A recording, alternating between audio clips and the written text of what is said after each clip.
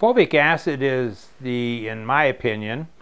is probably the most potent acids of the humic acid chain because fulvic acid plays an important role not only in the soil, the food,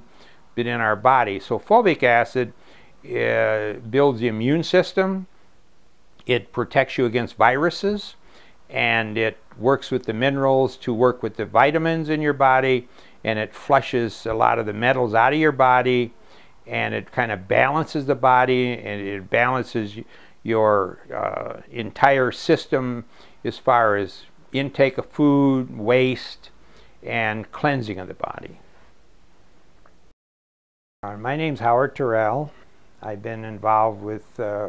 fulvic humic acid research since 1969. Uh, I'm the CEO of uh, Humate Technologies, a number of other companies that we deal with fulvic humic clay minerals and we would love to assist you and love to help you and